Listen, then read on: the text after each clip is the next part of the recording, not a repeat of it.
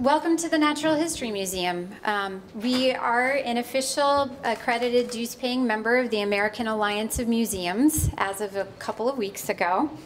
And we do everything that natural history museums do. We do exhibitions, expeditions, educational workshops, and public programming.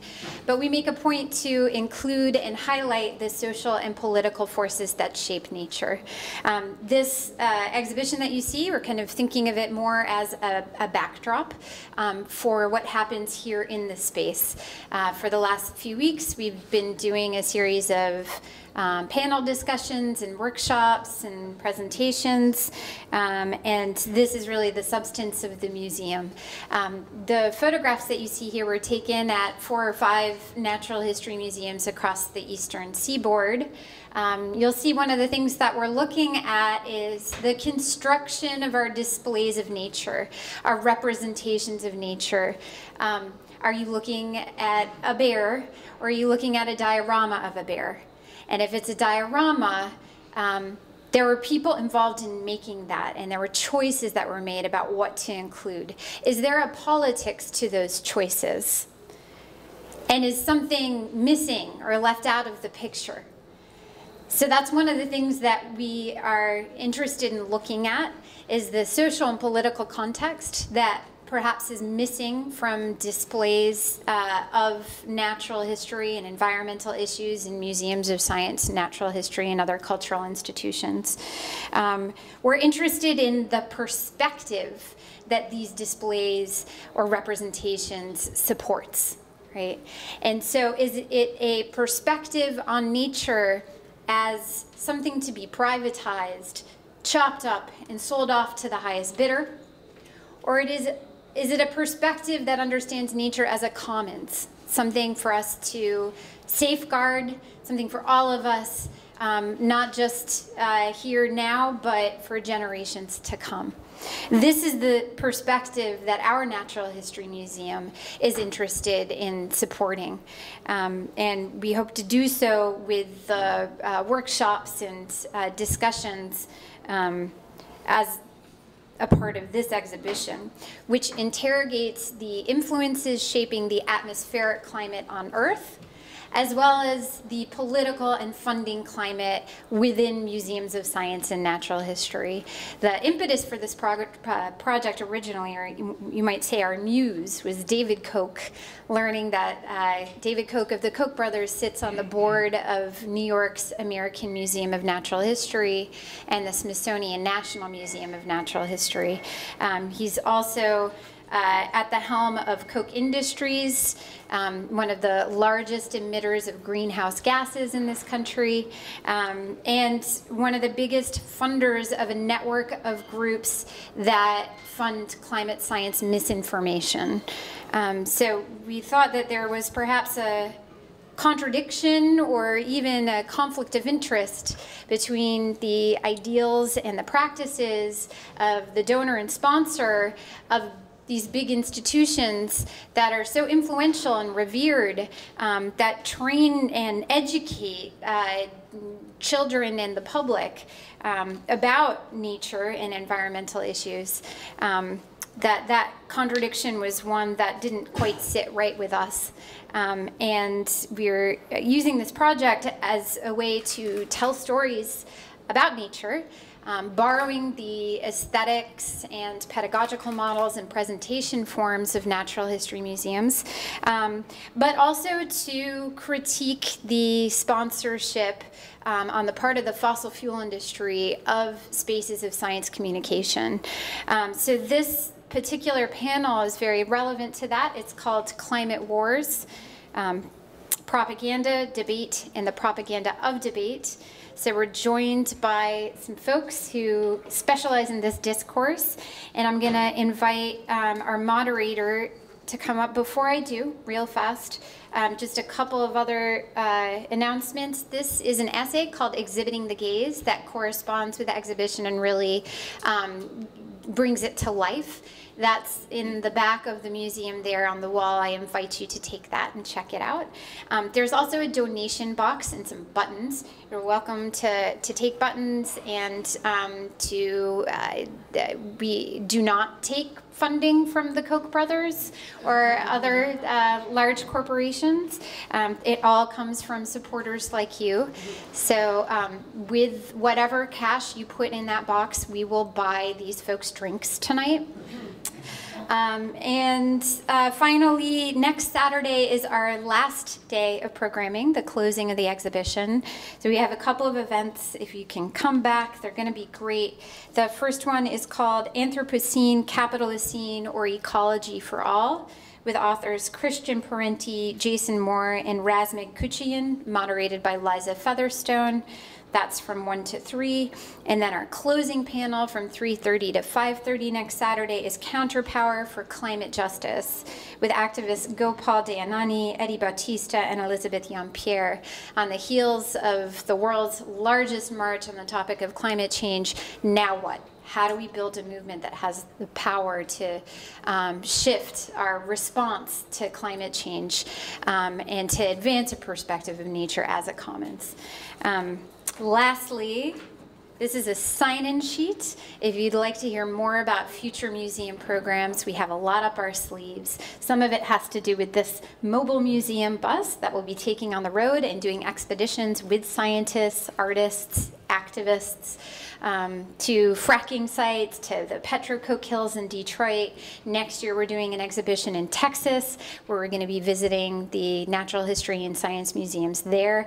Most recently, the Perot Museum this summer coming under fire for climate science censorship when a panel went missing in a new exhibition.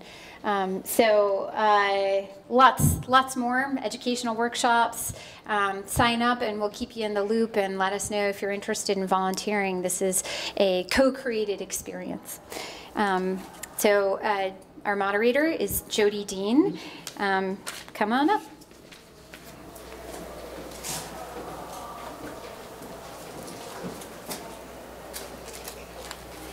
Hi, folks. So, for the last several decades, the discussion of climate change in the U.S. has been structured around and deeply distorted by climate denialism. Voices on the right and their powerful funders have presented climate change as left-wing propaganda, a myth, a lie, a fiction. they have trashed scientists.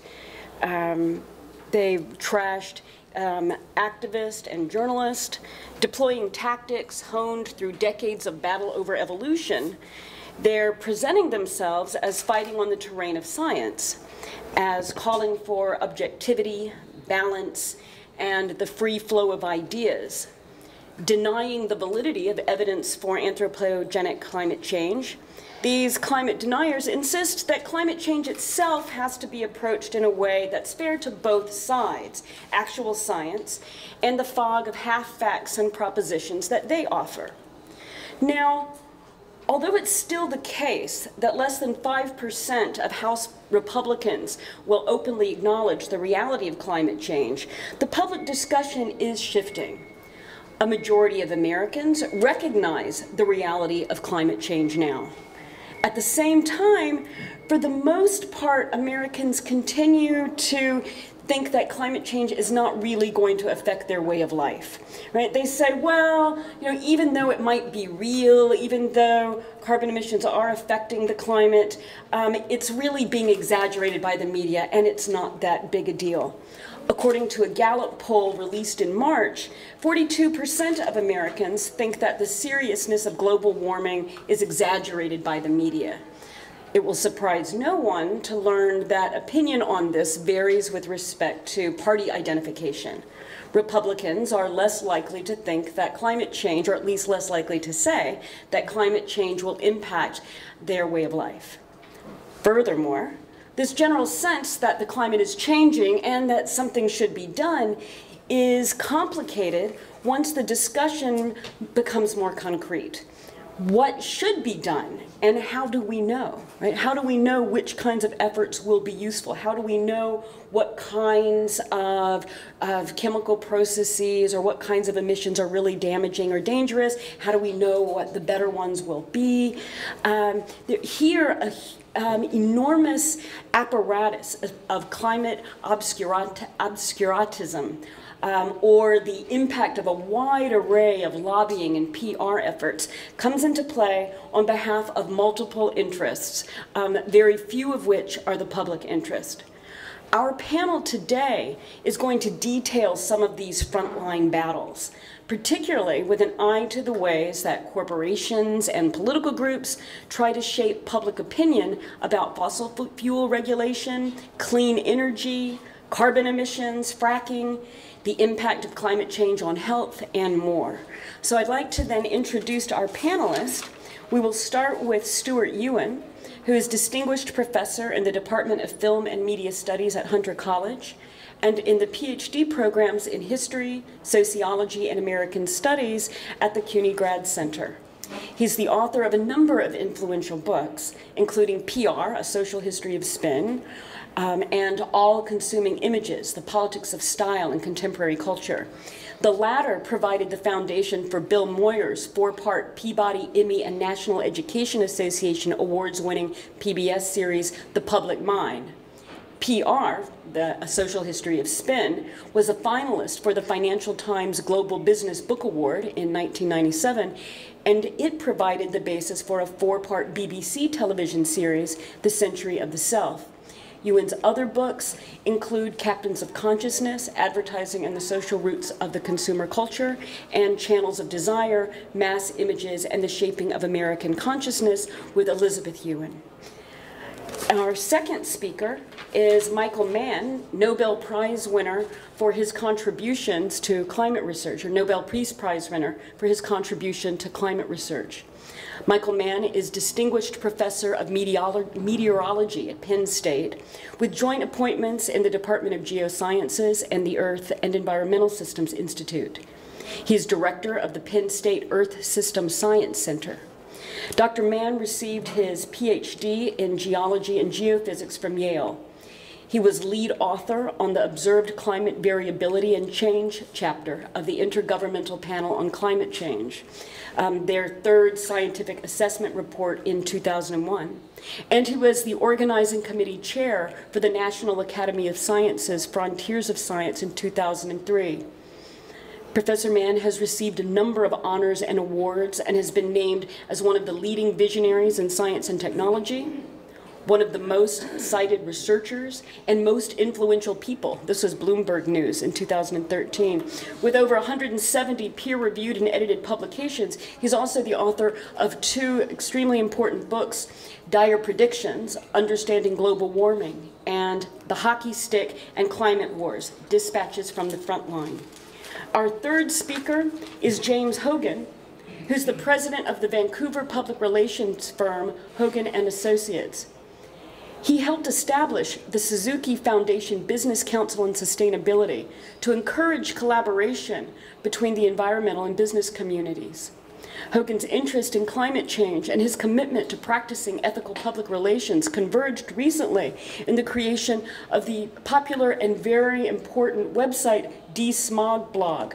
This blog exists to identify unethical PR practices and to expose the PR people who are trying to confuse the public about climate change. Mr. Hoggan has been trained by Al Gore as part of the Climate Project, which is an initiative designed to educate the public about climate change. So we will start with Stuart Ewen. Please join me in welcoming them.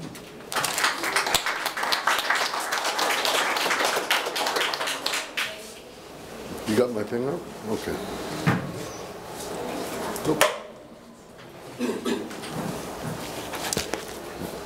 There's no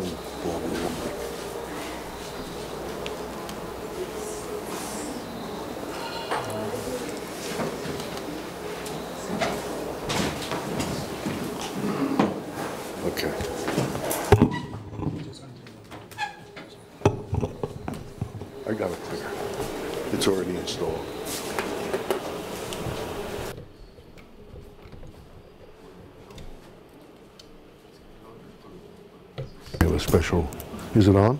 Yep. Can you hear me out there? Yes. yes. Is it just my voice or is it is it magnified? You'll need a handheld if you Okay, they can't tell. Um, I asked to uh, have a lavalier mic because, as Becca said, I have ants in my pants, and um, which is not part of the climate problem, but it's just a personal climate They problem. can't hear you in the back. You can't hear me. No, But this will amplify you. You should use I. I don't want to use that. It's okay.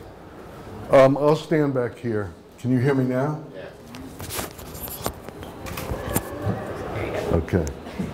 Um, let me just uh, get going here. My time begins now. Um, there was this guy in uh, the 1920s named Walter Lippmann. Some of you may know his name. Uh, he was the most eloquent and uh, I would say Mac, to some extent Machiavellian uh, engineer of public opinion in the United States at that time. He is still revered. I was at an opening of a museum of public relations this past Tuesday, um, and he was continually being referred to as sort of the godfather of um, uh, public opinion engineering. He wrote in a book in 1922 uh, about some of the basic requirements for generating effective propaganda at wartime. And here's what he said. He said, without some form of censorship, propaganda in the strict sense of the word is impossible. In order to conduct a propaganda, there must be some barrier between the public and the event. Access to the real environment, he said, uh, must be limited before anyone can create a pseudo environment that he thinks wise or desirable.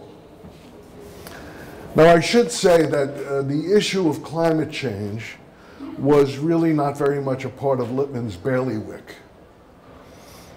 Um, but I think his thoughts on propaganda remain instructive.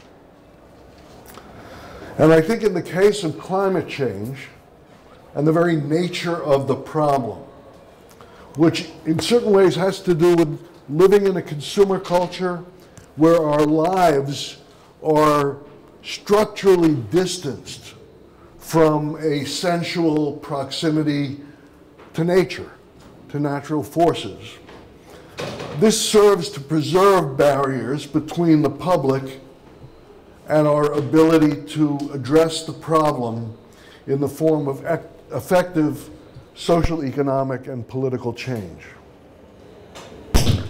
Now, I said, I would say one of the most deeply seated barriers between the public and the problem of uh, climate change is a persistent concept of what is called development, which has been the consort, the ideological consort of industrial capitalism for nearly 200 years. This is a, um, an advertisement that appeared in Life magazine in 1962, which, by the way, was the same year that Rachel Carson's Silent Spring was published. And for those of you who are unable to read it, I will just read a little piece of the text. Each day, Humble Oil, and by the way, you don't recognize Humble and Enco. This is ExxonMobil in an earlier corporate incarnation. Each day, Humble Oil supplies enough energy to melt 7 million tons of glacier. The, this giant glacier has remained unmelted for centuries. Yet the petroleum energy that we supply, if it's converted into heat, can melt it at the rate of 80 tons a second. To meet this nation's growing needs for energy, Humble, ExxonMobil, has supplied science to nature's resources, has applied sciences uh, to nature's resources to become America's leading energy company. And I have to say that this, in, this idea, this enduring idea that human progress is connected to the domination of nature is a fundamental assumption that a lot of people carry within them. It's not simply, when you're dealing with propaganda, you can't just deal with what are the messages coming from outside in. We also need to deal with the messages that begin to sort of, we, we internalize. That is to say, not just the barriers that are erected by public relations people out there, but we need to start addressing the barriers that we carry within us. This is, maybe this is what, by barriers, I'm talking about denials. And what's interesting is when we open up a session like today's, where we're going to address the problem of how to break through the fog of propaganda and move towards effective collective action, to some extent, the answer to that, those problems remains a mystery. Even with the rising social and environmental struggles, the great march, which I assume many people here were a part of last week, um, the ability to deal with something like climate change in a way that is fundamental and kind of goes to the root of it is a mystery. It's fugitive in many ways. Now, part of the reason why is that we live in a media environment dominated by publicists, um, in, in which words like clean and green and sustainable and even renewable energy have lost all meaning. Uh, the wolves in sheep's clothing are gathering, and they're exercising their power to lay claim to trustworthiness, intensifying the fog. Like, for example, there's this.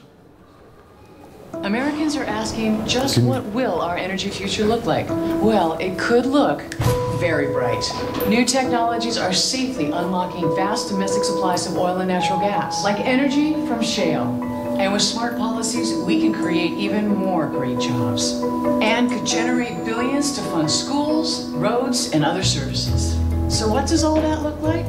A secure energy future for generations to come. Shh, log on to learn more. Yeah, this is from I want to say two things about this. This is a, a, a part of a propaganda uh, campaign that's been running by, from the Amer American Petroleum Institute for um, since 2008. Um, but what's also interesting, I was, I'm going to make an aside, which hopefully can come out of my time. Um, I was shopping in Fairway one day last winter, and I walked by and I see this woman who looks very familiar to me, and I kind of went on, and then I, I stopped. I said, "That's the that's the woman from the Energy Tomorrow ad." So I went back and I asked her, I said, Are you the woman in the Energy Tomorrow ads? And she said, Yes. I said, How can you do that? well, I'm not going to tell the whole story. If anybody wants to find out more about it during the um, Q&A, you can. But um, it was kind of an interesting encounter. I invited her to come into my class. She gave me her email address. Her name is Brooke Alexander. Um, um she never got back in touch with me. And then there's stuff like this. I mean, this is one of the great hoodwinks of contemporary times the idea that natural gas means clean energy. First of all, natural gas is a fossil fuel. Um, it, it causes a lot of the same problems. In an ideal vacuum, it produces 50% less uh, emissions than coal. But the problem is that when you generate this stuff, you are continually having leakage of methane. And that methane, in fact, is a more serious um, greenhouse gas and more problematic greenhouse gas than carbon dioxide. So in fact, it, it, it's a, this notion that natural gas is an environmentally friendly, friendly thing, and you have UPS trucks driving around saying we're saving the environment with natural gas. It's just nonsense. Um, we have this.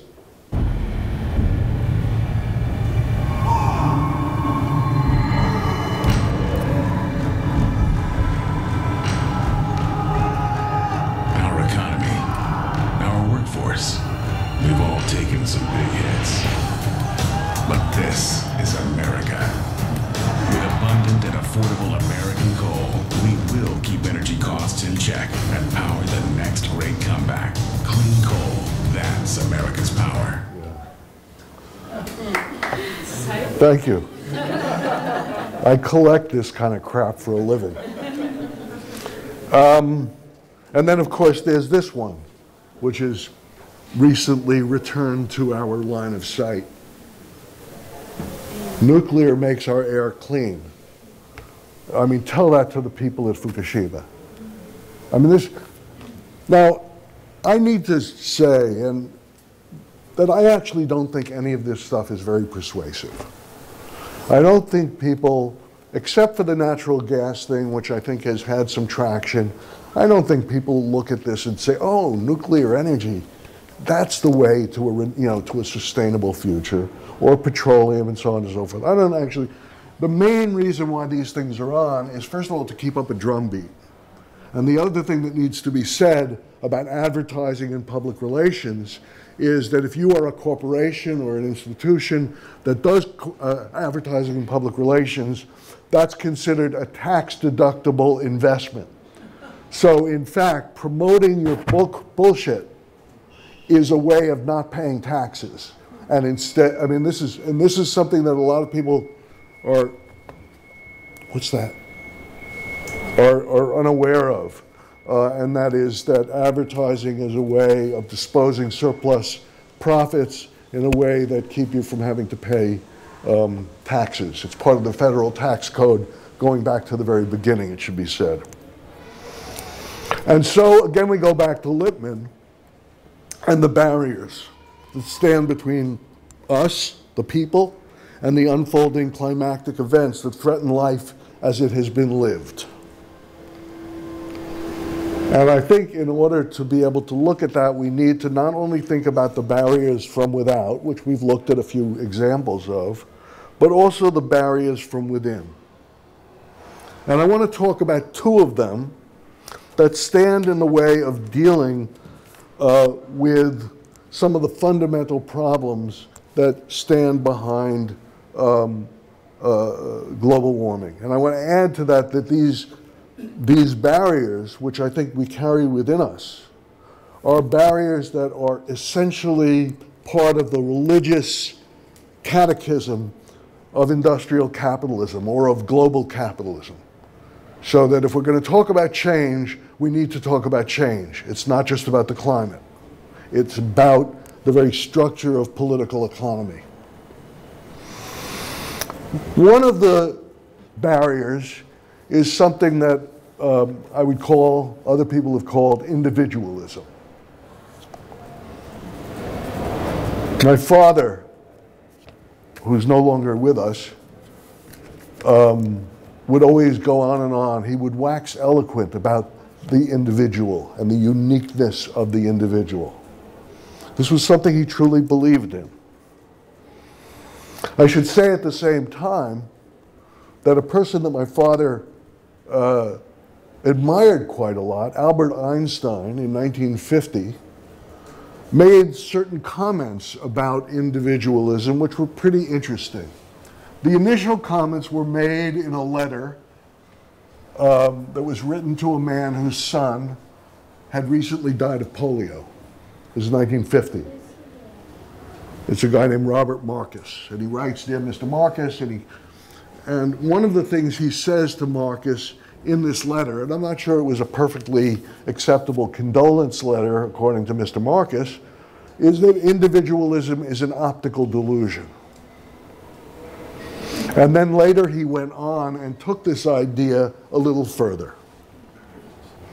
A human being is a part of the whole that is called by us universe a part limited in time and space. That is to say, we here are occupying a brief moment in time and space, although the planet is something that occupies a larger moment in time and space. He experiences himself, his thoughts and feelings, as something separated from the rest, a kind of optical delusion of his consciousness. And I think what he meant is because we see the world or the main sense that we use to take in the world is our eyes, it, encourages us to view each of ourselves as a center of the universe. This delusion is a kind of prison for us. It restricts us to our personal desires and to affection for a few persons nearest to us.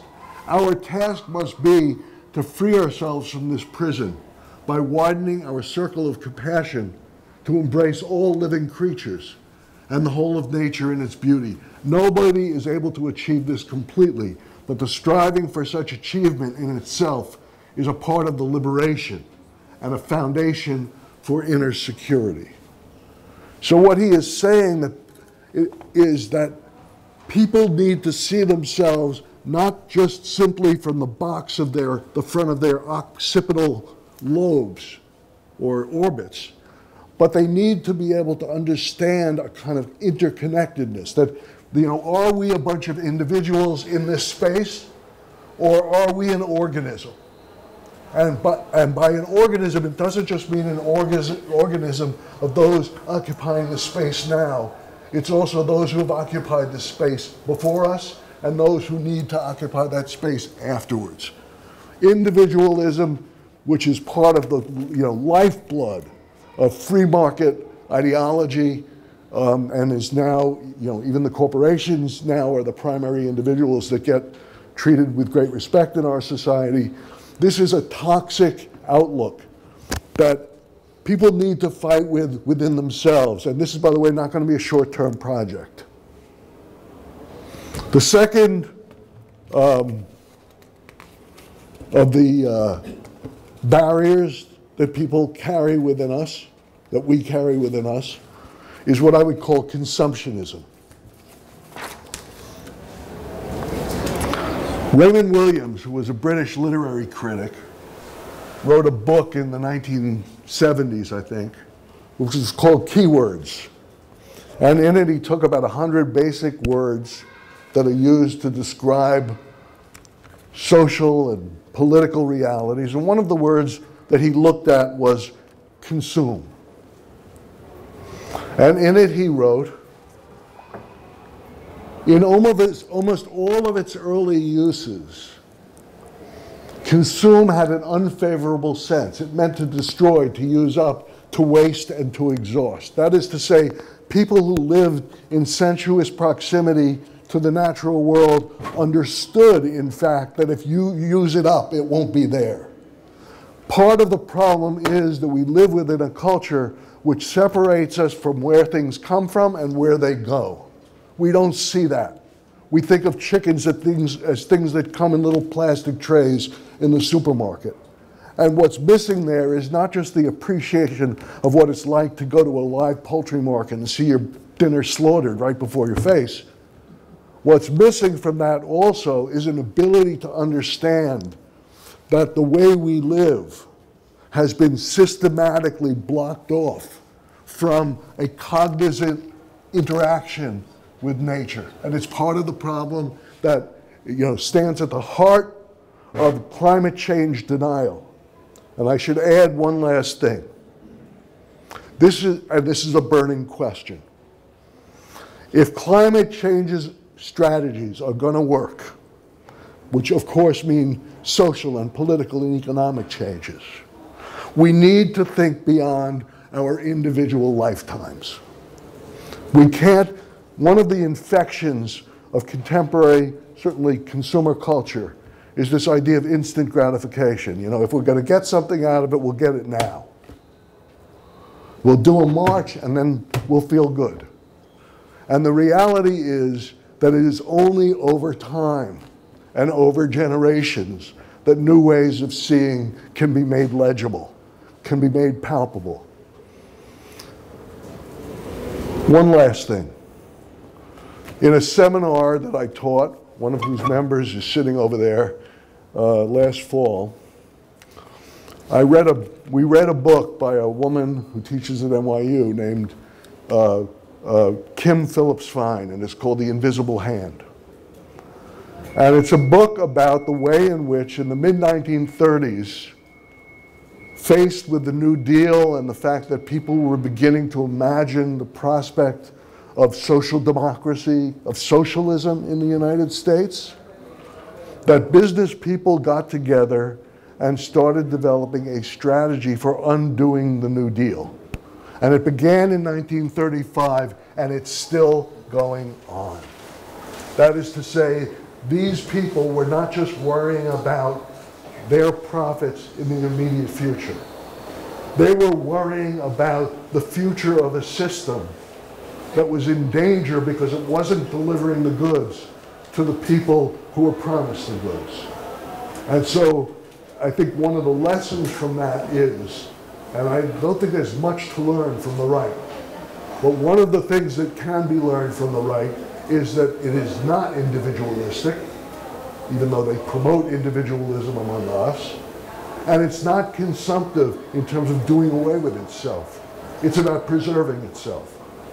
And if, if, if, if, if we're serious about making changes, we need to think about creating institutions and communities where cohesion out, outsmarts individualism and where preserving resources outsmarts consumptionism. Thank you.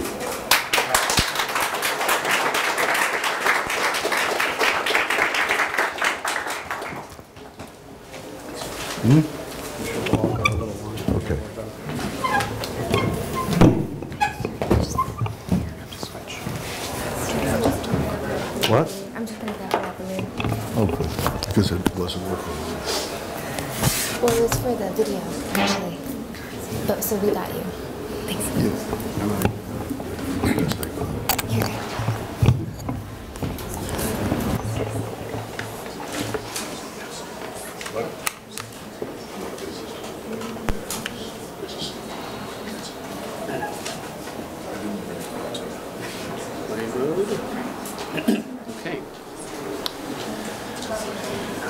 Right, well, uh, I want to thank um, the uh, museum, the Queens Museum, and Becca um, and the others uh, for putting together this uh, panel discussion. Uh, I think uh, the, the the museum has shown some impressive leadership and some courage in confronting some of these issues um, head-on.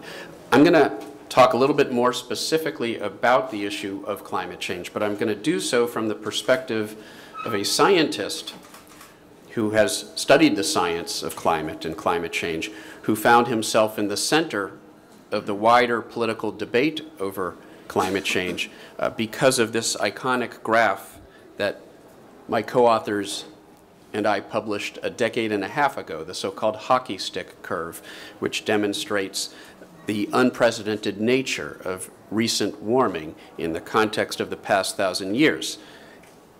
It became somewhat of an icon in the climate change debate, and as a result of that, I found myself in the center of efforts to discredit the science of climate change. So the first thing that I want to point out here is that um, it's, it's amazing that we're still actually having a debate about the basic scientific evidence for climate change. As somebody alluded to uh, earlier, um, the uh, House of Representatives, the U.S. House of Representatives, is led, uh, the, the Republican leadership um, has a, um, controls the House Science Committee, um, and uh, they, uh, the, the Republican majority on that committee doesn't accept the science of climate change. They also don't accept the science of evolution. So the fact is, the scientific evidence is, is basic. Uh, the greenhouse effect, that certain gases in the atmosphere like CO2 warm the planet, we've known about that for nearly two centuries. Okay, and the fact that we're increasing the concentrations of these gases in the atmosphere, again, there's no scientific debate about this. This shows the measurements over the past uh, half century plus. This graph, which I put together a couple years ago, is already out of date. You have to add another vertical tick mark because we just crossed 400 parts per million CO2 in the atmosphere for the first time two years ago. Uh, we're fairly certain you have to go back five to 10 million years to find CO2 concentrations that were naturally that high. So we're, we're engaged in this unprecedented experiment uh, with the one planet that we have. Now, that's all you have to know. The greenhouse effect, basic science and chemistry, we've known for two centuries. The fact that we're increasing the concentrations of these gases in the atmosphere. What I wouldn't be able to explain to you as a scientist would be if the Earth were not warming up as a result of that. But of course, it is warming up. It's warmed up a little less than a degree Celsius over the past century. And, you know, if you talk to the critics, there are critics who say, well, we don't trust those records. Well, I could show you dozens of independent lines of evidence that tell an internally very consistent story of a planet that's warming up and a climate that is changing, much as we expect it to, as we continue to increase the concentrations of these gases in the atmosphere. And that's the sort of evidence that led the Intergovernmental Panel on Climate Change, which published their fifth assessment report uh, just last year. Uh, this is a scientific um, organization that operates under the uh, auspices of the United Nations and every five years um, does an assessment of the peer-reviewed science uh, as to what our best current understanding of climate change is. Uh, they concluded in the most recent report that the warming of the climate system is unequivocal. Okay, scientists aren't debating this. If you go to a scientific meeting, you won't find scientists debating this. If you read a peer-reviewed journal, you won't find scientists debating this. Uh, nor will you find scientists debating the origins of that warming. We know with a very high degree of confidence that we cannot explain that warming from natural factors, that it is only the human factors, in particular the increase in greenhouse gas concentrations from fossil fuel burning that can explain the warming that we see. And that's what led the IPCC, again, to make a remarkably definitive uh, statement, again, for uh, a report that's based on the contributions of hundreds of scientists. It represents sort of a lowest denominator scientifically in terms of what all those authors can agree upon. And to, for a, a conservative assessment like that to conclude that it's extremely likely that human influence has been the dominant cause of the observed warming is pretty remarkable. It's a very robust scientific consensus that now exists. You wouldn't guess that from the public discourse of this issue, but there is no scientific debate about that. Um, now, I wrote a piece in uh, Scientific American earlier this year where I pointed out that we could still stabilize warming below 2 degrees Celsius, which is often uh, used as a measure of when we start to enter into the most dangerous and potentially irreversible changes in climate. 2 degrees Celsius warming, it's 3.5 degrees Fahrenheit warming relative to pre-industrial. Um, and this is from the most recent IPCC report. As you can see, once you go above 2 degrees Celsius is where you really get into the red zone when you look at the various impacts of climate change on health, on, um, uh, on our economy, on food, on water, across the boards, on national security. Climate change really starts to become a problem once you get to 2 degrees Celsius. We could still avoid it, but if we continue on the course that we're on right now, we're probably talking about 4 to 5 degrees Celsius, 7 to 9 degrees Fahrenheit warming of the planet by the end of the century. And in the words of uh, James Hansen, former director of the NASA Goddard Institute for Space Studies in, uh, in the uh, Upper West Side of Manhattan, um, we'd be talking about a different planet. Um, we're, we're, talking about leaving our children and grandchildren a fundamentally different planet than the one we grew up on. Um, and a, a picture's worth a thousand words. Uh, I used to end with the polar bear um, because, as we all know, um, it's the law. If you give a talk on climate change, you have to show a polar bear. But I think inadvertently, by making the polar bear sort of the poster child of climate change, we've wrongly conveyed to the public that this is some exotic, distant threat way off in the Arctic, decades down the road, uh, when in fact climate change is a problem now where we live. And so everywhere I go and I give my standard climate change lecture, whether it's Central Texas, whether it's Maine, whether it's Northwest Missouri, whether it's Southern Florida, whether it's California, you know, you don't have to explain to Californians right now the impacts of climate change. They're seeing it with their own two eyes. Or whether it's Queens. That's Queens in the wake of this thing, which many of you probably remember, um, Hurricane Sandy. Uh, and we can have an interesting discussion about what aspects of Hurricane Sandy were made worse by climate change, but we know that it was made worse by climate change. So why no action? It's a rhetorical question. If the science is this clear, if the threat is this obvious, why haven't we taken any action? Uh, we've already uh, heard an explanation of, of, why, because there are very powerful vested interests who profit greatly from, uh, to quote former President George W. Bush, our addiction to fossil fuels, and they don't much want to see that change. And so they fund politicians like Senator uh, James Inhofe, who, uh, if the Republicans regain control of the Senate, will most likely be the chair of the House Environment and Public Works Committee. Uh, he also happens to uh, believe that climate change is a hoax perpetrated by thousands of scientists, and somehow we've gotten the ice sheets and the oceans and, and everything else to play along. Um, well, James Inhofe, in fact, was invited to give the keynote address uh, back in summer of 2011 to the Heartland Institute's annual conference. The Heartland Institute is a industry-funded think tank that uh, used to be primarily funded by the tobacco industry to try to discredit the science linking uh, the use of tobacco products to human health uh, ailments. Um, and today, uh, they're substantially funded by the fossil fuel industry, uh, including the Koch brothers, um, to sow doubt about the underlying science of climate change. And he's their man. They wanted him to be the keynote speaker at their annual conference. Unfortunately, Inhofe had to cancel out at the last minute. Um, he had gotten ill swimming in a lake in, uh, back in Oklahoma that was suffering from an algal bloom as a result of the unprecedented heat and drought that Oklahoma was experiencing in the summer of 2011.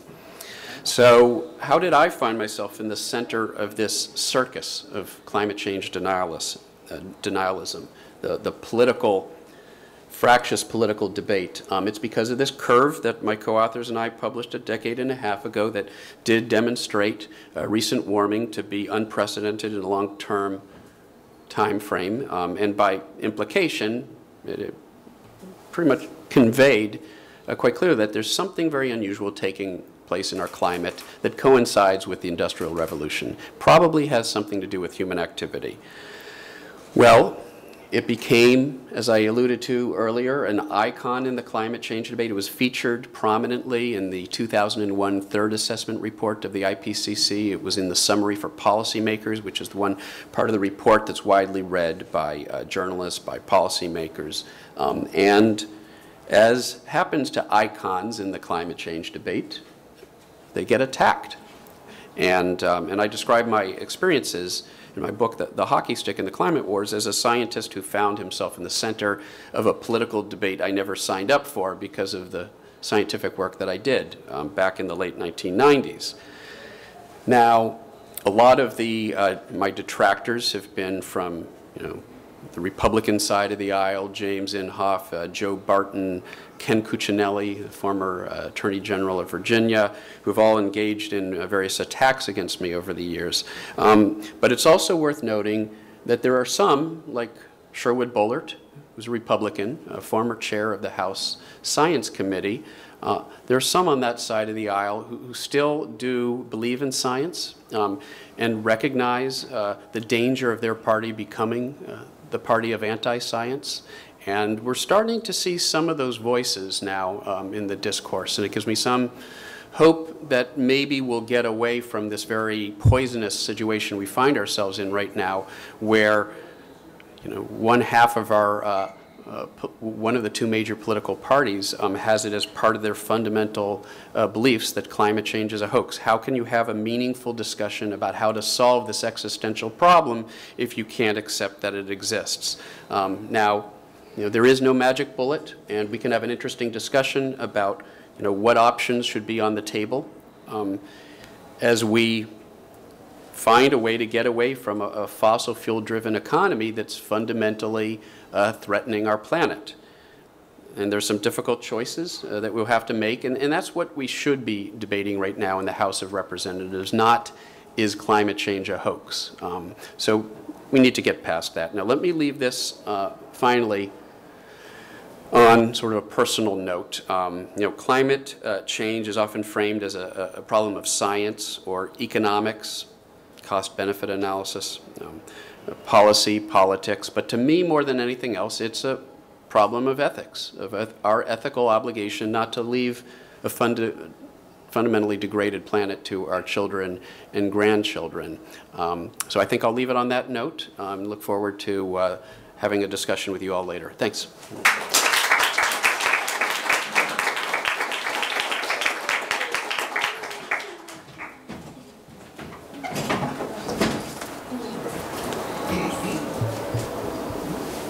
So hi, everyone. Uh, I'm Jim Hoggan, just in case you can't remember from the introduction a little while back. These guys didn't go on very well, did they? I mean, they, they, they just kind of got to their 15 minutes and they weren't the ones who sort of spilled over into any longer. And so I hope I'll kind of live up to the example that you guys set. Um, and anyway, I wanted to thank the, uh, the National History Museum and uh, Becca uh, for inviting me to be part of this panel. It's a real honor to be up here with, uh, with these guys. I'm, when you were reading their resumes, I was thinking like, well, what am I doing here? Um, and thanks to all of you for coming out to listen. And hopefully, uh, I won't be too out of place after what it is I uh, have to tell you. Um, First, I have to start, because of some of the things that are going on in my country, by making it really clear that my comments really don't have anything to do with any charity that I represent. I'm the chair of the David Suzuki Foundation. I was the chair of Al Gore's climate project in Canada. And in our country right now, there's a bit of a witch hunt going on, going after uh, the charitable status of uh, organizations that speak out like I do. So this is more comments that are coming from me as an author of a new book that I just finished called The Polluted Public Square. And I wanted to start when I was seven. So when I was seven, I had a friend named Donnie Fisherman.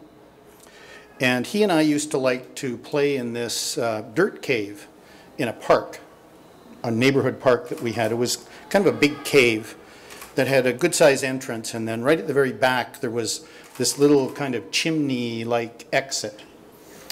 And one day we were playing in this cave, and some bigger kids, a gang of kids, came up with a bunch of wooden, uh, like I guess it was plywood, and blocked the entrances to this cave. Uh, and this was kind of like scary, claustrophobic, and it went on for a, quite a while.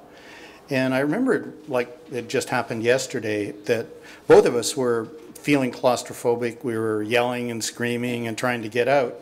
And the more that we yelled and screamed, the more fun these guys had. Uh, now, this is kind of like the age old ritual of kids torturing kids. It, not really like the kind of horrible things we hear about bullying today. But, but it really did leave an, impress, an, an imprint on me because I lived in the, the roughest part of a city in Canada called Calgary, which is right in the middle of the oil patch. So my neighborhood was a very tough neighborhood. You got into fights on the way to school and on the way home. And my dad was a violent guy. And so I got my share of violence at home as well. Um, so bullying was something that I grew up with. But these things that happened to me when I was a kid didn't crush me, and there's no need for anybody here to feel sorry for me because I've had a fantastic life, been very successful in business. And partly because when I was young, I hated the feeling of humiliation that came along with being bullied. I hated the feelings of ridicule. But more than that, I hated people having power over me, controlling me, trying to tell me who I was and what I could do. And especially, I hated it when it was unjust. I'm not sure that I'm that different than any of you, and that you might feel the same way about people pushing you around and controlling you. So, as I was growing up, I decided that I had to hand out some rough justice myself. So I turned into a scrapper, used to get in lots of fights. I hung around with a lot of really tough guys. And sometimes I slipped into bullying myself. And I learned early in life that there's a danger in fighting back. The danger that you actually might become a bully and become the very thing that you don't like in other people. But I was very lucky. I grew up in the 60s when Buddhism was making its way into to uh, North America. I fell in with a group of people who were interested in Zen Buddhism and Tibetan Buddhism. I, would- you know, my friends were reading Alan Watts and Aldous Huxley, and so I started reading it too. And there was a woman I was going out with who was into Buddhism, and before I knew it, you know, peace, nonviolence, and meditation were in, and being a minor gangster was out and wasn't cool. So for me, Eastern philosophy and meditation were transformative for me. Something Bill McKibben told me he worries about with me because he's worried that the Buddhism may make me too soft. Um, but I'll get back to that in a minute. So, so I went to law school. I built a very successful public relations company. My company specialized in issues in crisis management.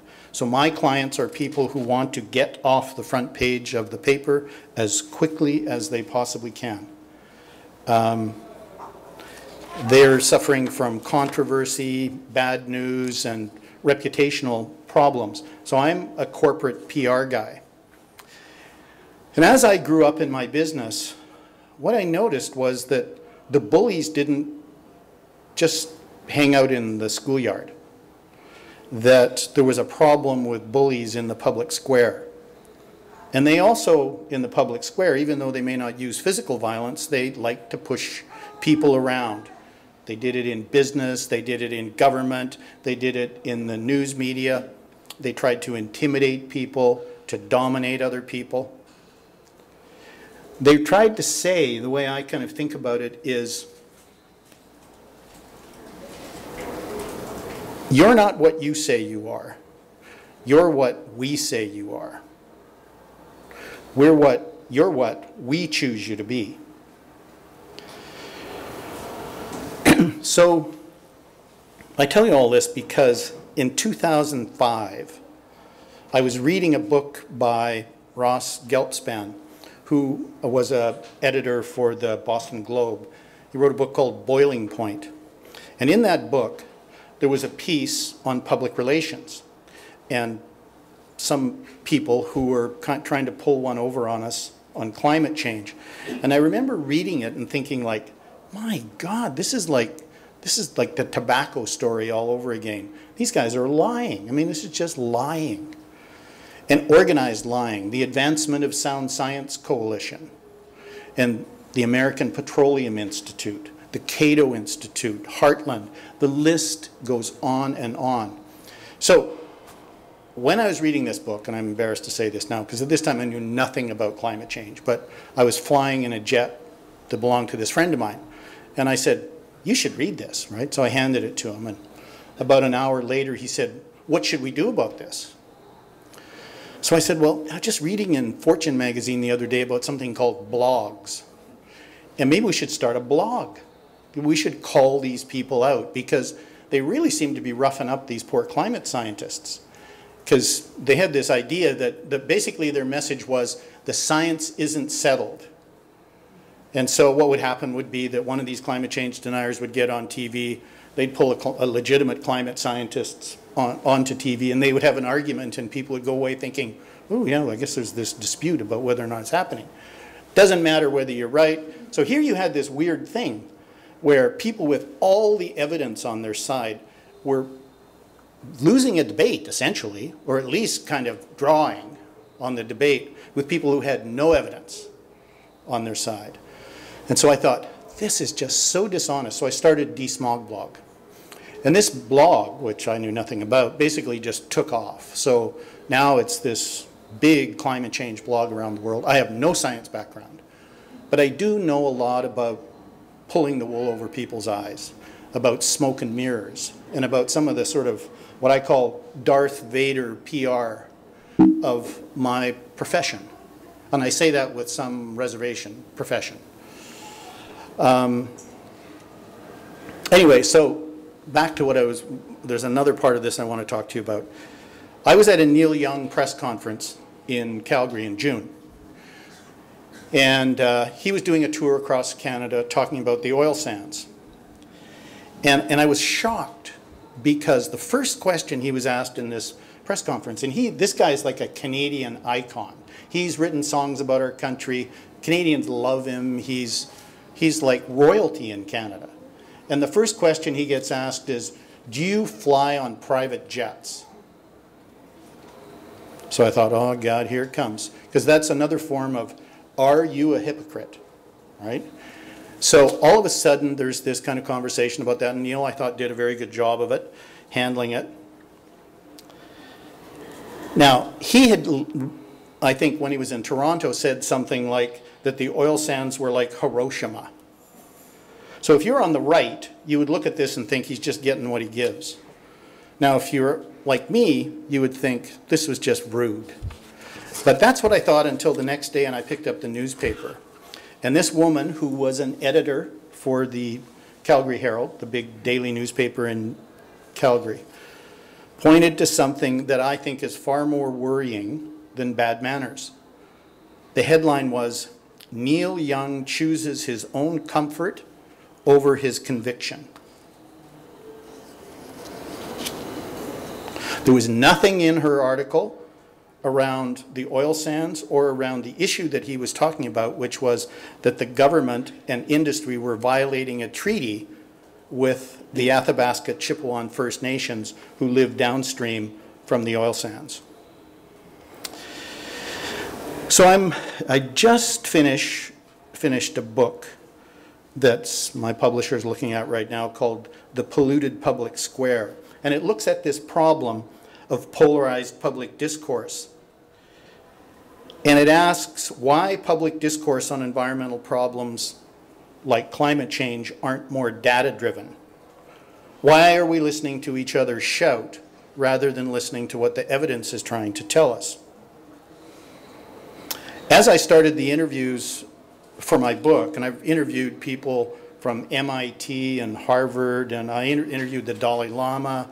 Uh, I've interviewed people all around the world about this, and I was really surprised that nearly everybody I interviewed was actually concerned about this same thing, this kind of the toxic nature of public discourse, this kind of polarized way that we were dealing with things.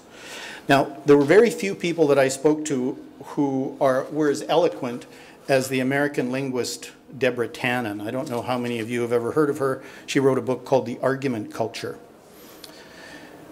She believes that our habit of attacking the motives and character of those who disagree with us not only distracts the public from real issues, but it actually undermines real opposition. It obscures, she says, the passion and the outrage that are at the heart of authentic public debate. It's the quote from her accusing opponents of venal motivations makes it easy to dismiss valid criticism. And she worries that this combative style of public debate leaves little room for the middle ground.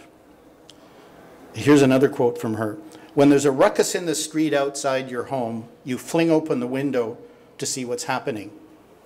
But if there's a row outside every night, you shut the window and try to block it out.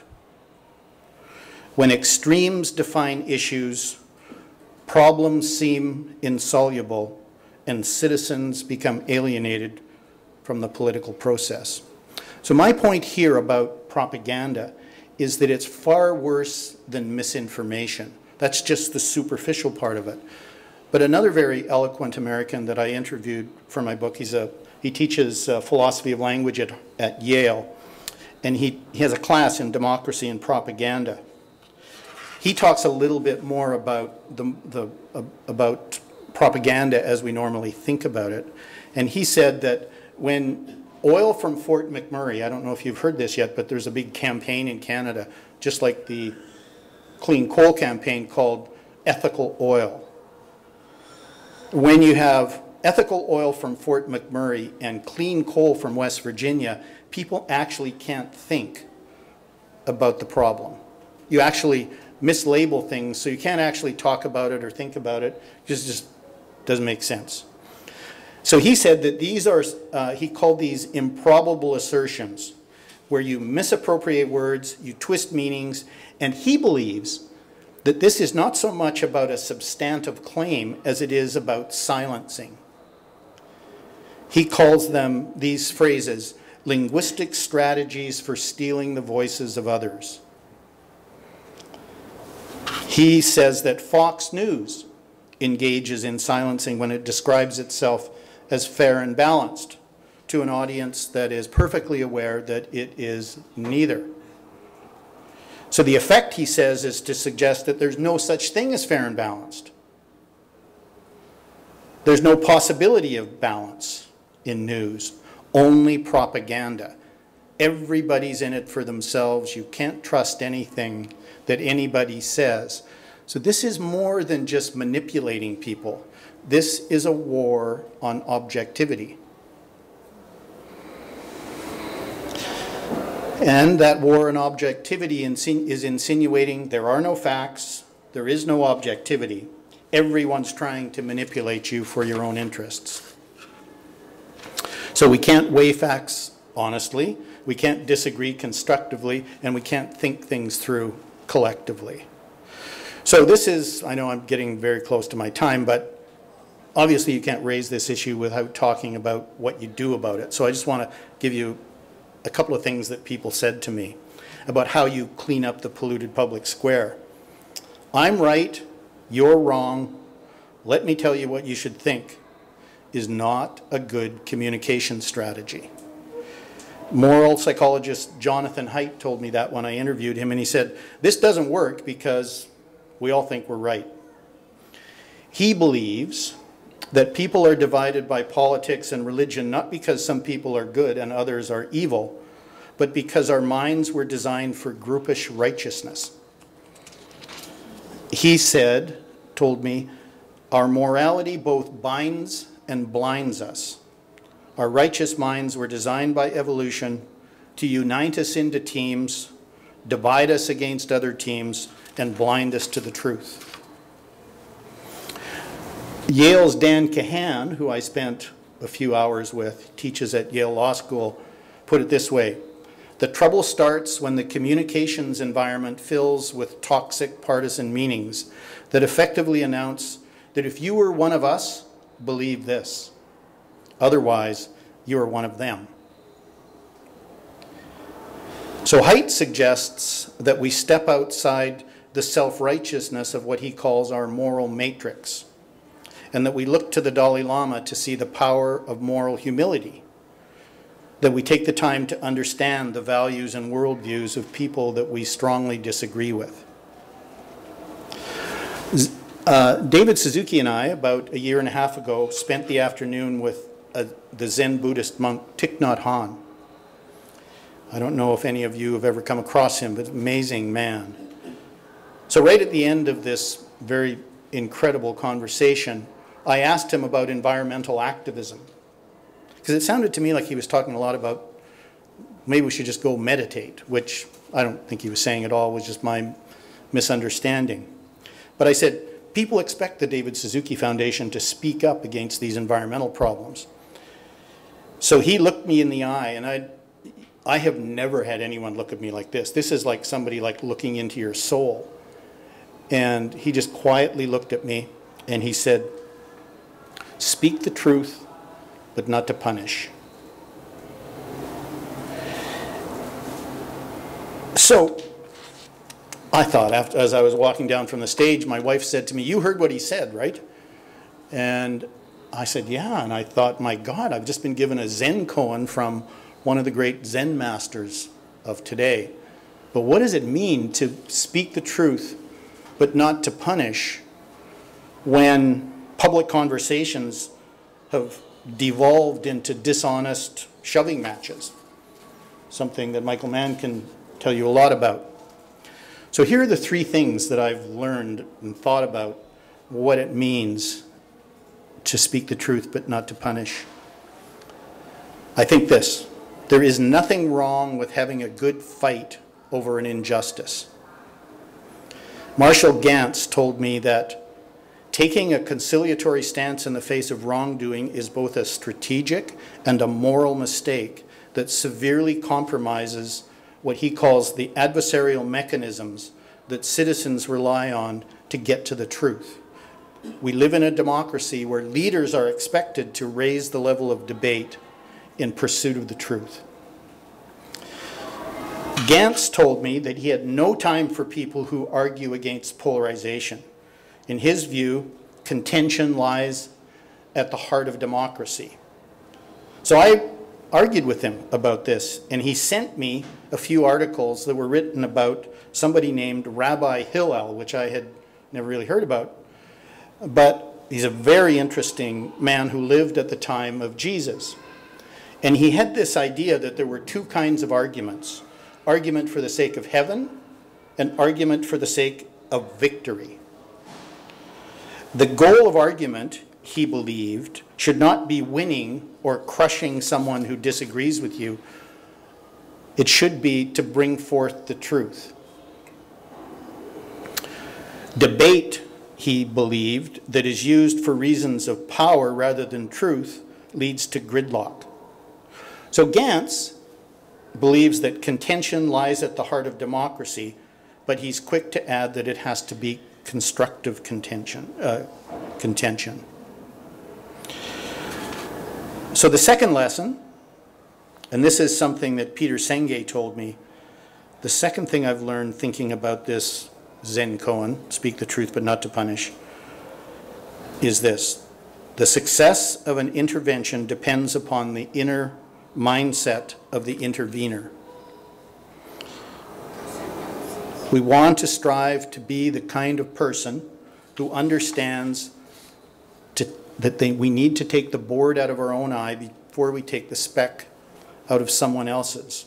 As long as we see someone else as the sole source of problem, we will not see our way through the problem. The third thing I've learned is about speak the truth but not to punish is something you might call a, a nonviolent speech. Gandhi believed in bringing about social and political change through something he called ahimsa, which meant causing no injury to others through your deeds and words.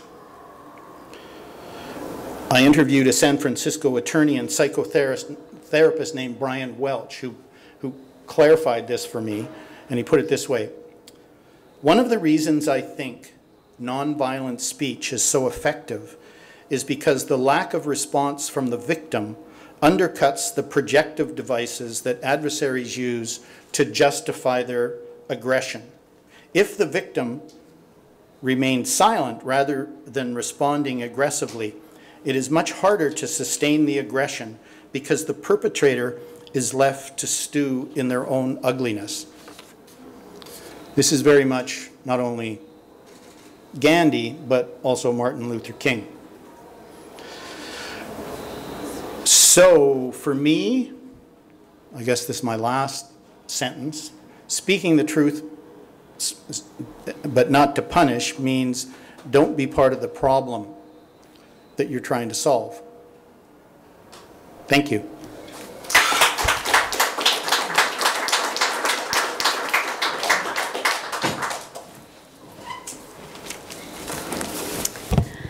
Thanks, um, you all, very much for um, your presentations. This is great.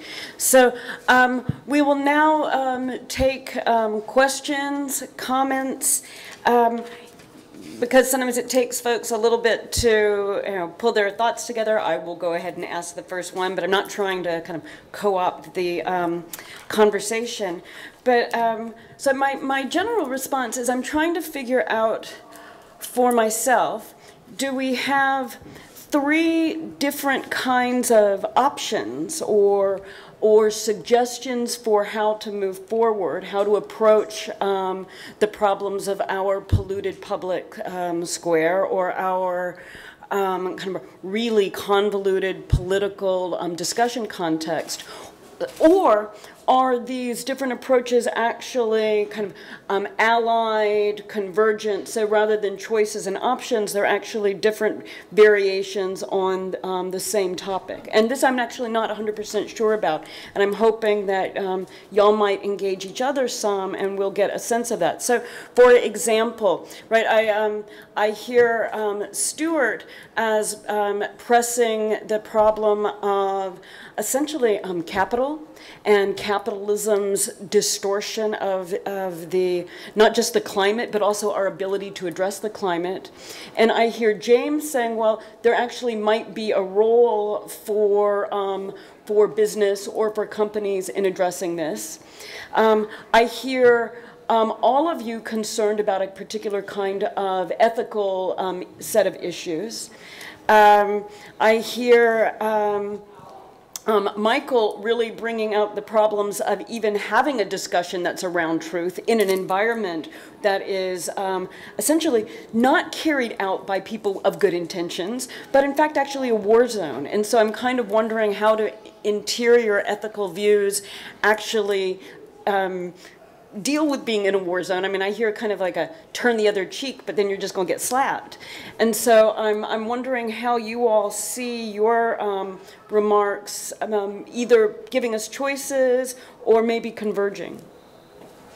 I'm happy to start, um, since I'm in the middle, I guess.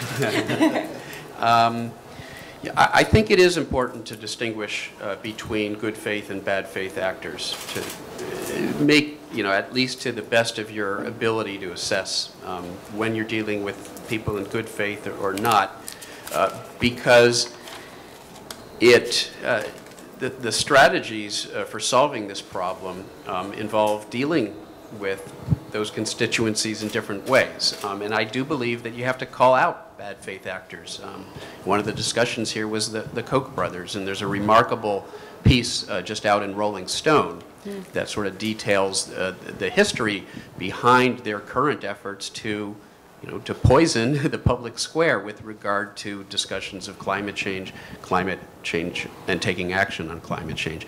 So I, I think that to some extent, there is a need to be confrontational with respect to those bad faith actors who are poisoning the discourse. Uh, I think it's dangerous to assume that the person on the street who sort of um, you know, parrots climate change denialist talking points uh, because he or she watches, you know, certain cable networks. Uh, um, you know, they're not the enemy. Um, they are victims as much as any of us of a disinformation campaign. But those who are funding and orchestrating the disinformation campaign, they are villains. And, and if we don't recognize that, um, then uh, I think uh, we fall prey to the sort of false balance where, hey, there are two equal positions here. Um, that's not the case. Uh, when it comes to climate change, there's objective science. Uh, and there are those who are defying um, uh, the, what the objective science has to say, and they have to be called out for that, in my view. Mm-hmm. I'm, I wouldn't call them villains, I'd call them perpetrators. Okay, I'm fine with because, that. Because, um, because what we're talking about are crimes against humanity and against all, against life itself. I mean, um, I want to, I also think that um, you were talking about running into a lot of climate. I don't run into a lot of, no, I, I live in a maybe in a bubble. I don't run into a lot of climate change deniers um, in everyday life. I run into them on the television, I run into them on the internet, and I don't, I think that people are generally aware that something is wrong. I mean, the fact that you know, over 300,000 people, some say four, um, merged in the streets of Manhattan. Uh, so many people that the, when the first group reached the end of the march, the end of the group hadn't left yet. I mean, it was, um, it was, it was clogged with protest. I think the question really is not whether or not people are concerned about this. It's whether or not they have the tools and wherewithal to be able to deal with it. And this is one of the places that I think I would not uh, differ with Michael, um, I would just add something to it. And that is objectivity is not very persuasive. Um, and that's part of the problem. One of the, I mean, if you, if you go back and you look at, for example, the writings of Frederick Douglass in the abolitionist movement, um, he is not worried about, am I presenting facts or am I appealing to emotions? If you read the Declaration of Independence, you know, when in the course of human events it becomes necessary to overthrow the government, we must place facts be, before a candid world. Uh, you know, and, going on, the Creator gave us inalienable rights, among them life, liberty, the pursuit of. Ha- Jefferson was not simply interested. I mean, the Declaration of Independence is in fact a factual brief, a legal brief, but it's not concerned with simply presenting facts. It's also with how did the facts take place. And I think this is one of the issues that we really need to think about. That within the debate, one of the most telling sort of uh, divisions is one group of people, and this is not just about climate change, it's about a lot of things. One group of people who are in love with what, what I would call facticity, and another group of people who couldn't care less about facticity. And if you look, in fact, at the history of political discourse, prior really to the early days of the PR industry, people involved in pamphleteering and publicity were, they, they didn't feel they needed to decide between the facts and how the facts take place. They believed that both are part of the job of what used to be called rhetoric, which unfortunately has now become a euphemism for lying. Rhetoric is simply about how do you communicate. And I think um, one of the problems is, and I understand as a scientist, these objective, the data is kind of incontrovertible. The question is how do you make data legible to people who are not data driven in terms of their interior makeup? And so a lot of it, I think, is about imagining what a, tr- a transformative rhetoric might be. I don't think I disagree with any of that. Yeah, and I don't disagree with what you've said. I, I, so I, I know anytime I say what I just said, that I'm kind of out on a limb because a lot of people, you know, don't like the idea, neither do I, of this kind of get along, go along narrative. And that isn't really actually what I was saying. So for me, I think that there's this kind of complicated um, interaction of um, highly polarized rhetoric, uh, propaganda, and narrative failure that sort of mixes itself together and confuses the, the public and basically drives them into disinterest. And so it's, the, I think we all play a hand in the problem. I mean, there are people lying, and we do have to call them out, make people aware of it. But you also have to be aware of the mechanisms, the psychological mechanisms that you kick in when you start to get in fights with people. I used to like to tell my clients that, you know, never get in a fight with a pig in public because the pig likes it, you both get dirty, and after a while, people can't tell the difference, right? That is a problem. And so you don't, if you want the, the, the, the power of right and facts to prevail, and I agree with what exactly you've said. I mean, a lot of the people I talked to said, facts don't change minds. You know, keep shoveling facts out, out the door. It's not going to counter propaganda. They're operating on a different kind of level. But you do want the facts to prevail. You do want society to be acting on the evidence. And I think that you need to be aware of the fact that it's a good idea to fight for what's right. But there are ways to do it that are move you forward and ways that you may not be aware are actually moving you back. And, and you actually may be part of the problem either because you're not telling the story in a way that moves people, or that, that you're basically creating this, this image that all we can do is fight about it. Are there questions, or why don't we not say are there, we'll say let's open up the questions and comments from folks. Yeah, Both both during the, uh, both during the People's Climate March and especially on Flood Wall Street, capitalism was a major issue. There was a lot of ca- anti-capital signage, uh, chants, and people were doing different actions. Is it possible to have a sustainable environment under capitalism?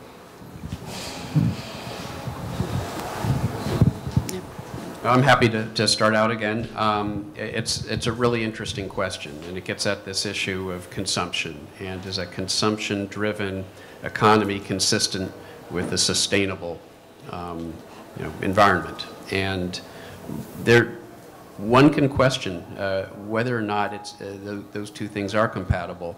As many of you probably know, there's a, a book that just came out um, by uh, Naomi Klein um, about capitalism fundamentally um, at its core being uh, inconsistent with dealing with the pro problems like climate change. Um, and she, she makes it fairly clear that her thesis is that uh, uh, problems like this um, cannot be solved in the context of you know, a uh, market-driven uh, decision-making process. Um, I'm not sure I agree with that. Uh, my own view is that what we've allowed, because of the merchants of doubt and the, and the leverage that certain bad faith actors have on our politics, we've arrived at a situation where, you know, the free market, you know, uh, the market isn't operate, operating under a fair set of rules, right? Because when it comes to climate change, we are giving subsidies to fossil fuel interests, and meanwhile, the Koch brothers are doing their best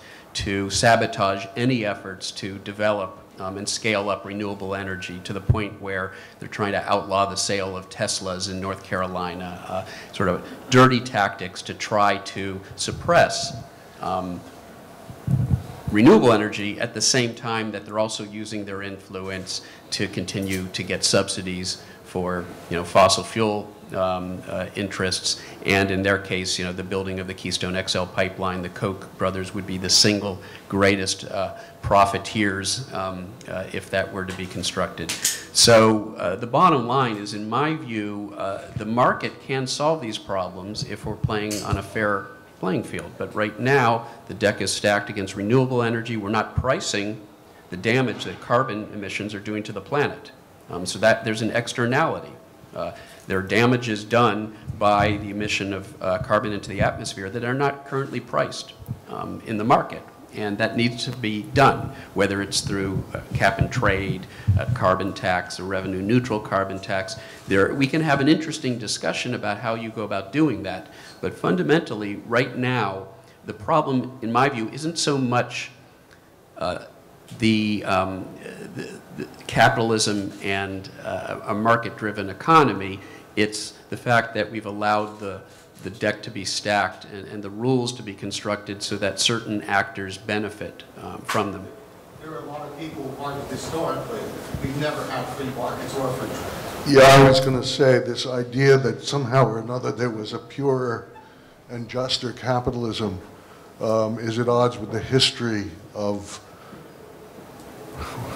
not just capitalism, but most of the dominant systems that preceded it. I mean, capitalism emerged with the idea of human freedom because there was an interest in freeing business from the controls of the mercantile state. But at the same time that life, liberty, and the pursuit of happiness was part of the rhetoric of it, um, the vote was not, in, the, in terms of the United States, the vote in terms of, for example, federal elections was not extended to women, certainly until the um, um, 20, two decades into the early, uh, into the 20th century. It was, it was not actually extended to people who were not property holders. So, I mean, I, I think this idea that, I, I think we, we need to raise, I know that it's unpopular, But I, I, I want to raise one point, which I think skirts on the question you're asking.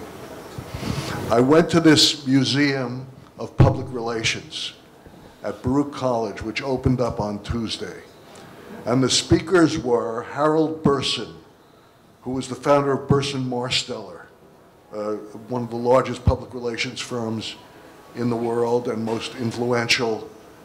Rachel Maddow said that evil has them on his speed dial.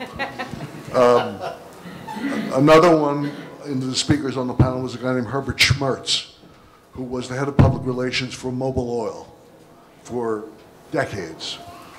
And another one was a very, very interesting person, a woman named Muriel Fox, who was the PR person for the emergence of the National Organization of Women. So there was some balance away from the corporate. One of the things that everybody on that panel said is that capitalism is in a crisis right now. Um, that in fact, people are disaffected from capitalism. This is something, I mean, in the United States, you can see it. Capitalism has really fucked a lot of people if you pardon my French. and, and, and they know it. And I think that to have discussions about, I mean, these kind of science, these icons of public relations, are all aware that the history of their business is about protecting capital against democracy. And I think that's part of what's going on right now in terms of climate change. So I think that this notion of a market that was pure and just is one of the fantasies that's been generated, um, you know, by the system itself. I, um, one of the people I interviewed for my book uh, is a guy named Joel Bakan. He is a law professor at the University of British Columbia. He, he wrote a book called The Corporation. You, some of you may have seen the movie, The Corporation. And what I took away from the interview with him was really interesting. I mean, first, this is not an extremist. This is a law professor who teaches business law at a top Canadian law school. And he said, you cannot create these person-like entities, give them these powers and obligations, and then do what Reagan and Thatcher did 30 years ago and deregulate them. You cannot allow more, I mean, there's just too much power and no heart in these entities. And that basically we've created these zombies, he says psychopaths, that and I believe, as I was listening to him, I was thinking, well, that's where propaganda comes from. You're basically forcing them to pump out bullshit because you put them, you, you make it legally, a legal requirement that they represent their shareholders even in the face of something like climate change. And in order to do that, they've got to pump out this kind of nonsense to just pacify everyone. Let me just a quick a quick response to that because um, it, it, there's an argument that's been made that fiduciary responsibi uh, uh, responsibility by corporations actually is an argument for them acting in a way that is completely different from what they're currently doing because the long-term interests of their stockholders uh, is the health of the planet and the health of the environment. Um, and uh, so arguably, uh, fiduciary responsibility means that the company shouldn't be doing damage to the commons, to the planet. And so there's an interesting uh, other side to that argument. Oh, wait, We've got two folks in the audience who want to get into the. I'm going to take a couple of questions. I'm actually three. I'm going to take three questions all at once and then invite y'all to respond. So we'll start over here. Hi. Um, I like the idea of uh, trying to put a face, um, you know, what you were saying about the crimes against humanity. So maybe we could have a new category of environmental criminal that could be a corporation or a human or even a government. Um, and, uh, well, I mean, I'm kind of bouncing around a little bit, but I think what uh, Becca and Jason and their friends are doing, um, which is to approach uh, the question of climate change from a very visual and indirect, not indirect, but like a, a fresh perspective. I think it's it's um, thought provoking, and uh, it's always um, good to have a fresh, you know, perspective. Um, the other thing I wanted to say is that uh, shouldn't we also be addressing not just corporations or capitalism, but like an actual, um, like you, you were saying, an ethic, which is the military industrial complex, which seems to be much more powerful than you know, even a certain government or a certain uh, political party. And maybe that would unite, you know, both parties in this country. Okay, I'm going to take two more questions. There was, right here? Just very briefly on that uh, free market capitalism point earlier, whether or not a hypothetically free market would deliver on a climate change solution is something that we could theoretically make a model about and you know run the probability trees for and put a dollar sign on. Uh, the more urgent question is, do we have the time to ask that speculative question, or should we be focusing on more direct technical avenues? I don't know if anyone on the stage would like to respond to that. And then one more here. I was wondering if you can pinpoint um, a little bit more about what is missing in the rhetoric or in its deliverance um, in order to get it to translate to a wider um, a wider um, section of the population um, in order to get people to understand um, the ethical issue that was mentioned at the end of some of the presentations about providing a better world for future generations. Um, we kind of say that, and then we don't say much more about that, and I think that there's kind of a gap in getting people to understand more than just mm, the future might kind of be worse for people. Um, I guess is there anything in the rhetoric that we could develop that would help people to understand, yes, this is an important issue that I need to care about? Um, I'm just, I'm, I'm coming from um, like the Midwest where it's small towns, most people only watch Fox News and the dialogue is just missing or it's, it's leaning a certain way. And uh, how can we get people with families who, are, who care mostly about their families, um, how can we get them to understand that action needs to be taken? Um, One last question. Um, and partly the answer to that question is how do people get the information that will make a difference uh, or begin to make people aware in a more constructive way. It's interesting that Stuart mentioned Herb Schmertz. I was engaged in the 70s in a battle around public television, and Herb Schmertz was basically, he worked for uh, Mobil and maybe, I don't know, Exxon. He was the oil guy. And he, um, he, he was basically the architect of changing public television so that it was it answered to the oil companies, the big corporations. For example, now we see that uh, you know the the uh, the news, the so-called news hour, is funded by Monsanto or whatever seed companies, whatever. But um, the the what what happens in in in terms of those that actually rather small amount that the oil companies give and the big corporations give to public television actually is, is, is less than 17%. The rest of the money comes from the government and from our donations. So we are subsidizing that disinformation because they're the ones who choose the programming. The public television will not put programs on unless they have that corporate sponsor. And Herb Schmertz really was the person who thought of the way to do that. he actually talked about that at the, he was the one who first funded Masterpiece Theater.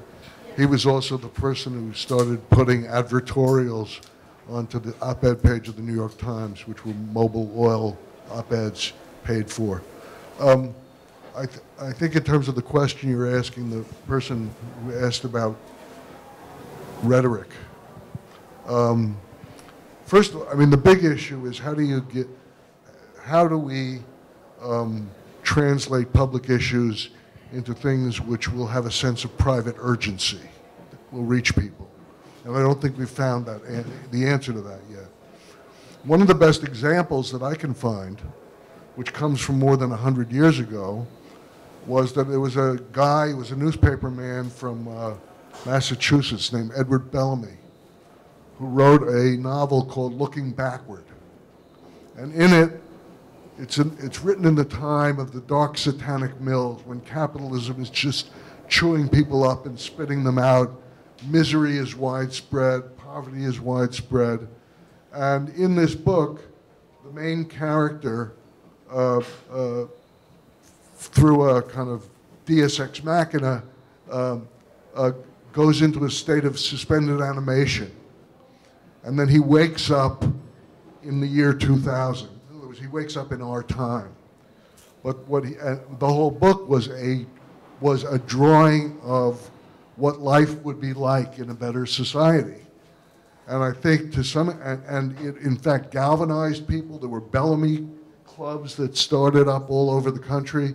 It provided people not just with a vision of what is wrong, but what a better life might look like. And I think um, we need to start having those kinds of imaginations, really kind of subverting what they call the dominant paradigm and beginning to present other visions of what might be possible.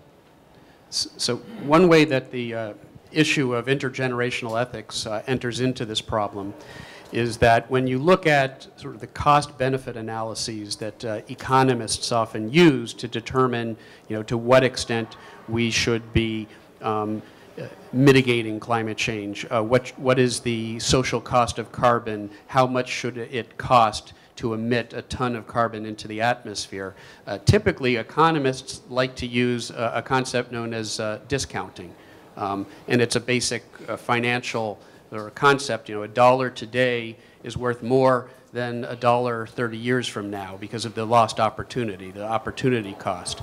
And what they do is they actually apply social discounting um, to the cost benefit analysis in a way that implies, for example, that the world that we leave behind for our children and grandchildren, that their quality of life is worth less than our current quality of life. Many would argue that the sort of standard economic approach to discounting simply doesn't work when you have a disaggregation between those who are creating a problem and those who are suffering the consequences.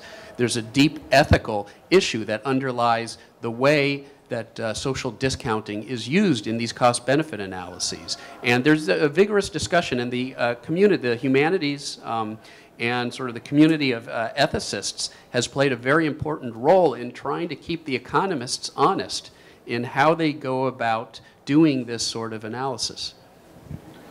Um, There's, uh, I mentioned Marshall Ganz, who uh, I just strongly recommend, if you're interested in this kind of narrative question that you raised, uh, that you look at a piece that he wrote called What is Public Narrative? Uh, Ganz teaches at uh, Kennedy School at Harvard. He was part of the group behind the, the ground game for Obama in both the elections. He worked for many years with Cesar Chavez, all the way back to Martin Luther King. Very interesting academic with lots of uh, frontline experience. And one of the things that he says is that in the narrative that advocates for change have put forward, that we've focused too much on the um, on the what and how. So it's kind of the information and the facts and all that, but not on the why.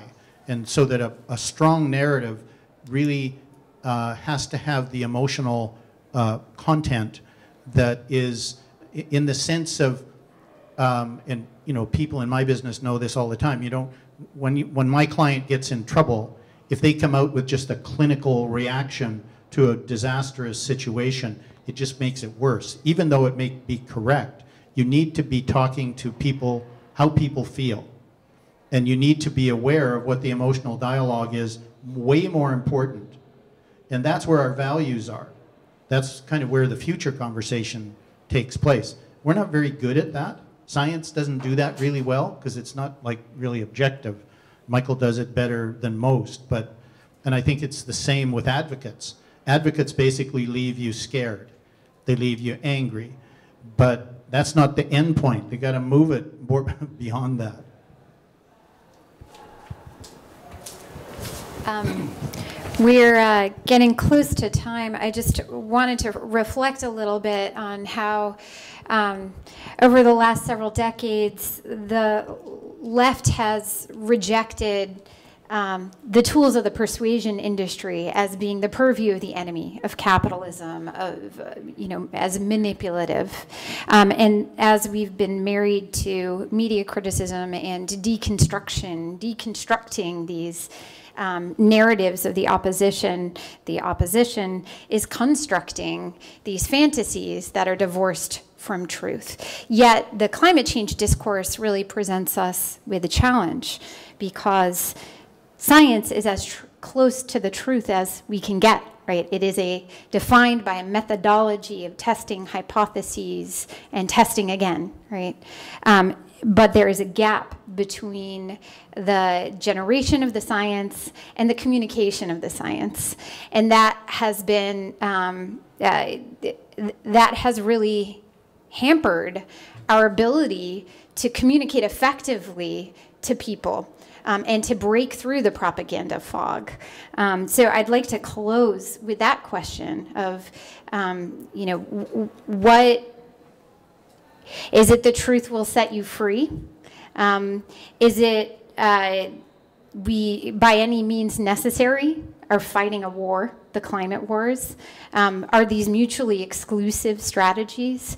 Um, can we recuperate the tools of the persuasion industries in service of the truth?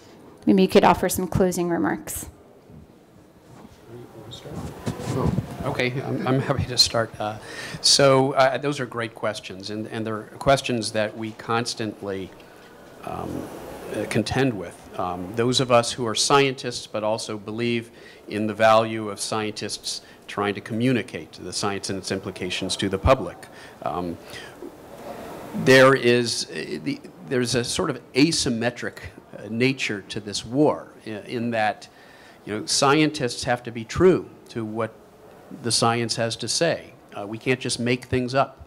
Um, uh, the other side is perfectly happy to just make things up, and in fact, to present um, a, a, set of views and facts which are fundamentally at odds with what we actually know. That having been said, scientists can be far more effective communicators than they typically are. And one of the things uh, that is frustrating as a scientist who believes in communication is to see many of my colleagues fall prey to all of the sort of standard fallacies and, and, and, and, and, and, and, and flaws in, uh, in communicating. Uh, one of those things, it's almost ingrained in being a scientist, you're, you're trained to, uh, in a sense, uh, emphasize what it is we don't know, emphasize the caveats and the uncertainties. And so when you talk to communications experts, they'll tell you uh, effective communication involves starting with the thing that you really want your audience to know and that you can say with some confidence, and then you can try to add layers of, um, you know, of nuance and, and uncertainty and caveats to that. What scientists like to do is to start with the caveats and the uncertainties and then they lose their audience uh, almost immediately. You know, if, if the response to your question was there some was there a relationship uh, between climate change and Hurricane Sandy, and the standard scientific response would be it's almost like a mantra. It's almost like you're taught this. Um, well, we can never relate any one meteorological event to climate change. Okay, good. Your audience, you lost your audience. You answered the question. They've walked away. What you should have uh, answered is the question that really should have been asked, which was, did this event uh, in some way, was it influenced by climate change? And how does climate change provide the context for understanding how these sorts of events may become more often and may become more severe? And there's lots to talk about there. Um, the first thing that I would mention is, well, you know, the one thing we know for certain is that one foot of global sea level rise meant the difference between a 13-foot uh, surge at Battery Park and a 12-foot, what would have been a 12-foot surge at Battery Park. That's 25 square meters of additional flooding that was caused by global sea level rise. And I haven't even gotten into any of the other connections that climate change might have had with, uh, with that event. We need to be far more effective. If we choose to engage in the public discourse, uh, we have to be far more effective in how we go about doing it. Jim? So um, I'll just tell you what the Dalai Lama said to me about this. Uh, just because you should know, right? Anyway. so, so um, uh, he, he, I, I asked him, uh, I said, you've done really well in the face of propaganda. You know, your whole life you basically have been the target of propaganda and people believe you, not the propaganda. I have a lot of friends who are climate scientists who kind of in a similar situation where they're the target of all this propaganda. And he said, really? Really? I mean, he was surprised that, you know, this was going on. Uh, and I said, well, do you have any advice for them? Like, what would you say? And he said, uh, in Tibet, we have a saying, uh, uh fall down once, get up. Fail, try again. Fail again, try again. Fail nine times, try again nine times. I've been speaking about propaganda, he said, for 39 years. And I just now feel like people are starting to listen. And then so the interview was over and we were all getting up like this and he reached out like this and put his finger on my forehead and he said, we like to think the Western mind is more sophisticated, but I think the Tibetan heart may be stronger maybe if we take the Tibetan heart and the Western mind, we can fix this problem of, of climate change. And I think that for me, that in fact may be it, that we just really need to be able to, we need to make our stories bigger than their stories by bringing the heart into it. If I have a friend who's a First Nations leader who told me when he was fighting for his land that at a certain point, their story became so much bigger than the story of the forest companies that the forest company just stopped talking. Um, let me go back to your question about the persuasion industries and whether or not we have something to learn from the persuasion industries. Um, I'm a historian, not a scientist. Um, I'm not a public relations person. Um, but one of the things that historians do is they try to recuperate memory in a society which promotes amnesia. And um, uh, the persuasion industries emerged in the early part of the 20th century because the people who were driving publicity and persuasion were people who were challenging corrupt government and the excesses of capitalism. Uh, when Commodore Vanderbilt was asked about what about the people, what do you, you know, what about the impact of what you're doing on the people, his response was, the people be, the public be damned. And so in fact, the very emergence of these persuasion industries was as a response to an active public sphere which was not being driven from the top down, but was being driven from the bottom up. And I think the very fact that we would ask, can we make use of these things, has built into a kind of a forgetfulness that we, that we came from doing that kind of stuff. That democratic movements were built around public persuasion, and trying to sort of shape the dialogue in the public sphere. The business community didn't even begin to engage in that until a point where they felt that the, you know, the, the, the horses were about to jump out of the barn. I want to thank all of our panelists, Stuart, Michael, Jim, and thank you to our moderator, Jodi Dean. Um,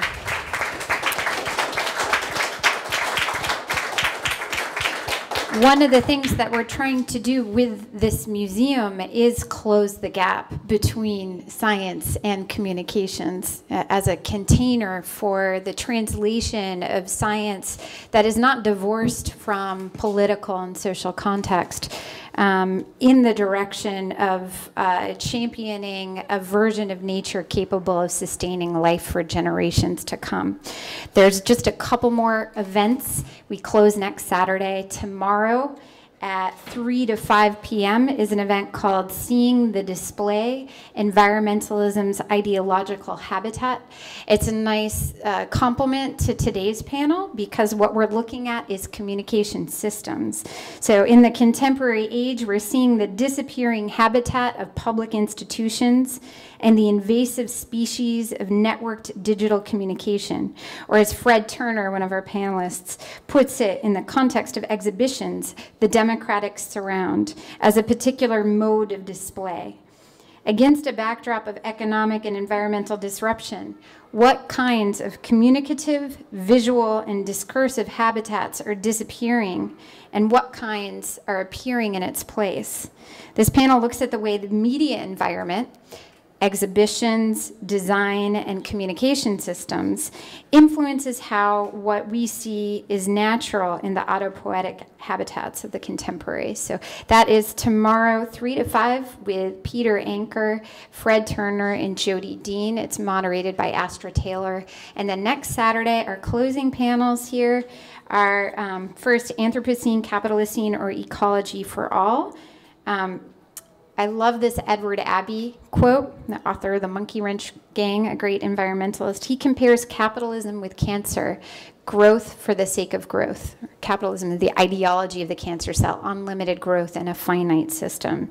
So this panel particularly considers the violent legacies of capitalism's exploitation and appropriation of nature.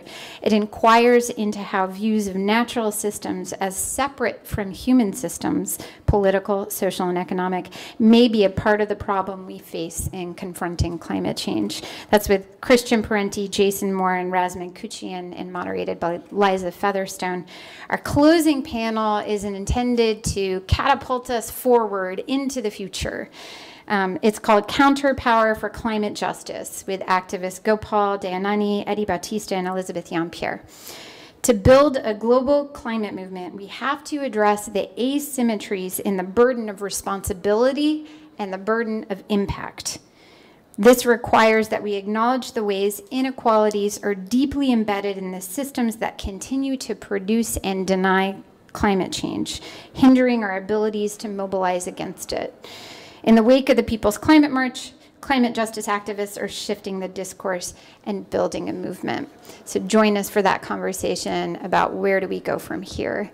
Where we go from here right now is to the bar for drinks. If anyone would like to join us, uh, let us know. Thanks again to our panelists, and be sure um, to, if you can, please make a donation to support our programs and the beers that we'll buy for these esteemed colleagues. Thanks again.